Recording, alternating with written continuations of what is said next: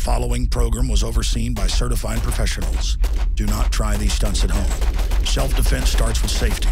It is essential that before using a firearm that you seek and receive professional training. We weren't planning on doing a, a, a show for a while, and Alex and I went camping with the, the family, and uh, Might as well bring the 50 cals. we brought the 50 cal along. And at the end of our trip, we decided we were just going to go out there and, and shoot a couple times, and Just a couple. just a couple. And uh, after about five shots, we were on the phone going, "Hey, we need to do a show tomorrow. Let's get this done." I'm Tommy Shane Steiner, and this is my brother Sid.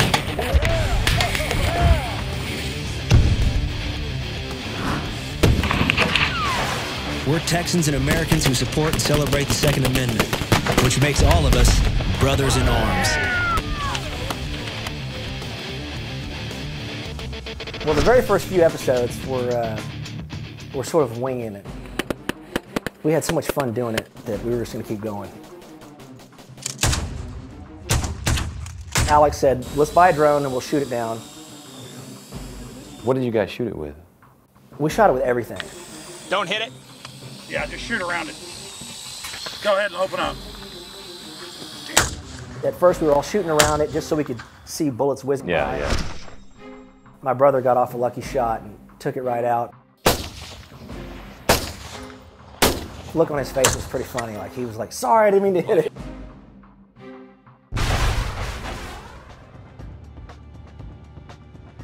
Just before the prices skyrocketed for all the guns because of the politics, Alex went into GT Distributors and got the 50 cal. Man, it was hilarious. He walked in and Alex started buying everything in the store. I noticed a lot of uh, ammo boxes in my office. We had an entire shopping cart, this massive oversized shopping cart, full of ammo boxes that said B-52 use only. It was the, uh, the old ammo surplus stuff from when they used to use when the B-52 used to have the 50 cal. The ball ammo to me was just a normal lead bullet. The armor piercing rounds actually had the tracers on them and they were incendiary. It was all in one. Red tip is the tracer.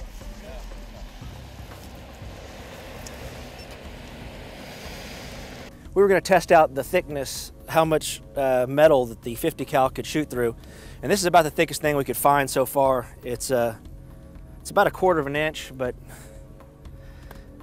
I, I don't know if it'll go through that or not. All we had was, was paper targets, and I we decided that was kind of a, a waste. If you're going to be shooting a 50 cal, we got to have something. We're not usually like punching holes at paper. So let's start shooting.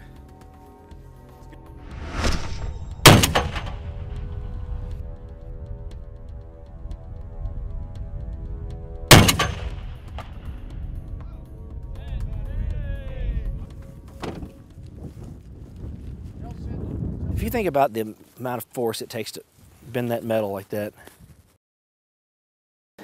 That's designed to go into a jet tank. That's the same one. Now look at the jacket of the bullets there. it just It is, fused it's, to it's on there. some of some of the the round fused to the. Sid, as it turns out, is, is is probably the best shot, and he's not even a gun guy, so he he's more into into archery and stuff, and I think that actually helps him out because he has nothing to lose. He can always say he's the, the archery guy.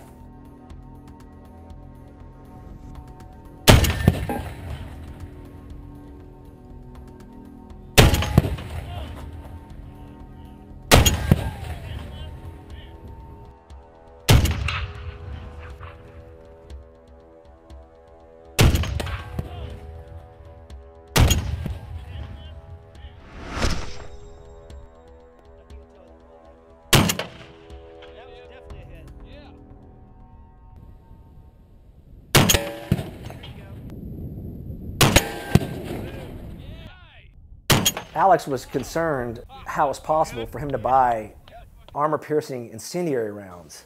You can't manufacture them for civilian sell anymore, but they can sell them in surplus.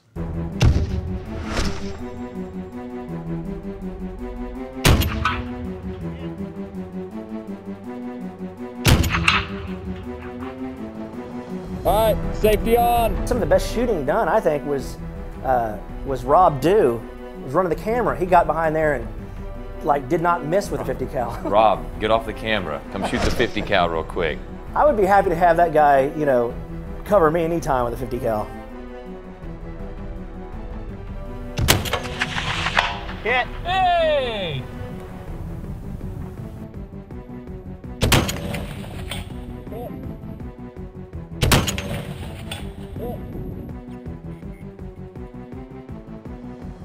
I honestly didn't think it was going to punch through the, the I-beams. I thought it would, it would have probably made like a, a little dent, but man, it just, it turned into Swiss cheese. Look at that. Wow, what did that with the big black splat? That's That was one that went through, and then that was probably one of the uh, the the incendiary tips. After it went through, then it ignites, and it caused that scoring. Look how the bullet looks. That was the thickest steel that we could find, and we, we got two of them and put them together. We're putting that up there to see if it'll go through. It's made easy work of that. Did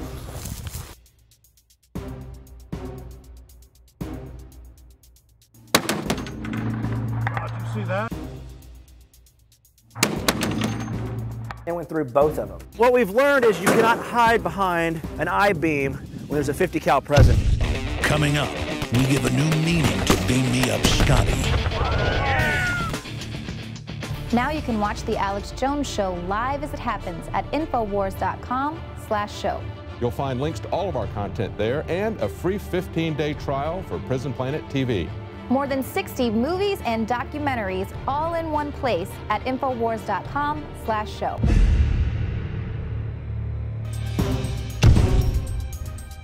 Alex brought out this R2D2 toy. So we set it out there, and it was about uh, 600 yards. And we noticed that the, the guns were more accurate further out than it was close up. Oh, Matt here was in the Army, and he was saying sometimes if they missed something, it would still knock it over, and that they were telling them that if you shot a 50 past a man's head at about six inches, it would still take it off. And we just skimmed by the R2D2 with the uh, tracer, and look what it did to it. Tell folks about that. burned it up pretty good. I mean, you can see where it's all ripped up. Probably the round hit the ground, exploded, shrapneled out. But I mean, that's from probably just from the, the tip on the tracer, I'd imagine. Well, we're gonna we're gonna get R2 one way or another. Sid took the first shot at the propane tank. He knocked the spigot off, igniting the gas.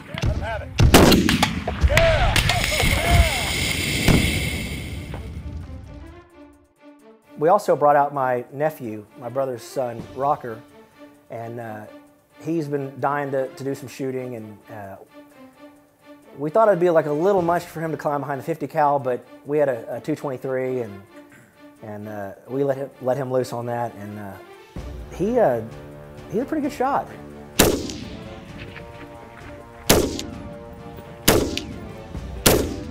Vice President Biden told women not to get a 223 rifle, that it was too much for them to handle. He said instead to get a 12 gauge shotgun. If you want to protect yourself, get a double barrel shotgun.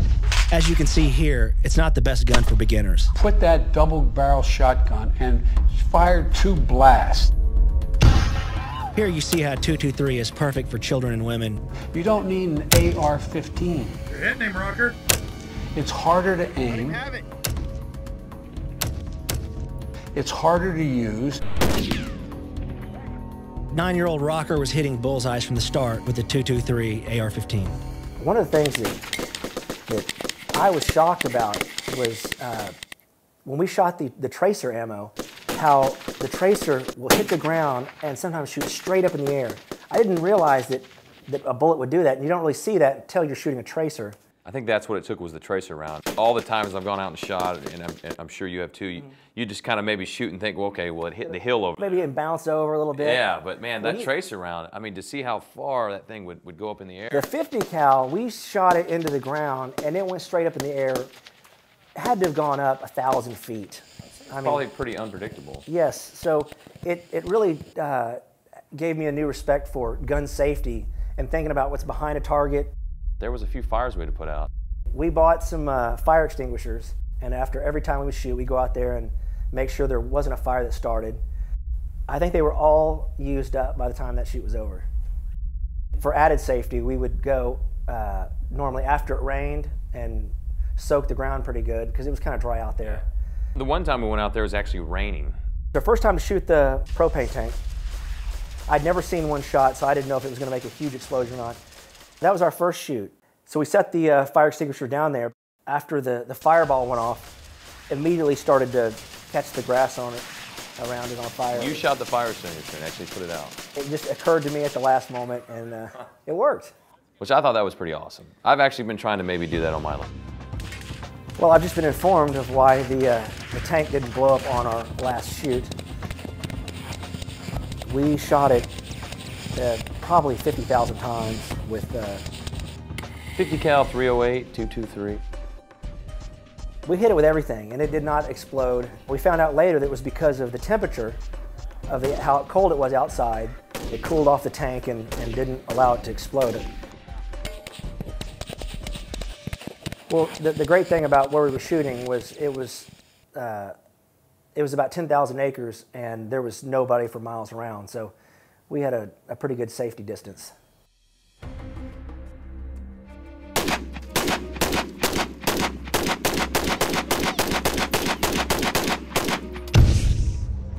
Also, on the, uh, the shoot day, we, we decided that one of our targets uh, was going to be tannerite uh, attached to, uh, I don't know, a display. I know, I know Alex was pretty excited, uh, I guess especially after you guys' first time out there, so we have to get creative now. And uh, last minute before we leave, Alex like, I need you guys to go find some cardboard cutouts of some cartoon characters or something like that. Well, we found Spock, we found Batman, and we found the Statue of Liberty. I just thought, look, we can't be blowing up the Statue of Liberty we didn't really know how we were going to set that up, if we were just going to each take shots at it, but as we all kind of lined up, we all got in our positions, Alex yelled fire and everybody opened up and it was, it was pretty much a melee. I think the Batman was the one I blew his head up with the tannerite. I think I hit that one.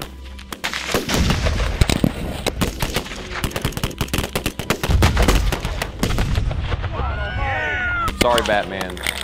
Sorry, Spock.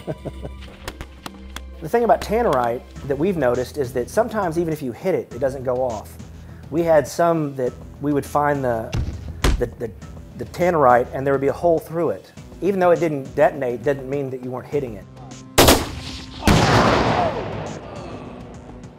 We don't always just go out there to film. I mean, most of the time, uh, we just go out there to have fun with friends. You know, the system tries to demonize gun owners and exercising your Second Amendment rights. That's what I like about this show. We're patriotic men and women and kids. Oh, yeah. I think the, the, the point of the show is to show that we're just regular people out there having fun and that, you know, we're not experts, we're not like trained snipers.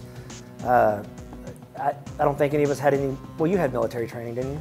A little bit, yeah, I was in the military, but you know, I'm by no means a professional sniper, no. Now, we got a lot of ideas that we're working on, but we want to know what you want to see. If people have ideas, they can, they can you know, send it to guns at Infowars.com. We, we'd love to have some new ideas. Go out and have fun and also exercise this, our Second Amendment right and exercise our liberty to protect ourselves.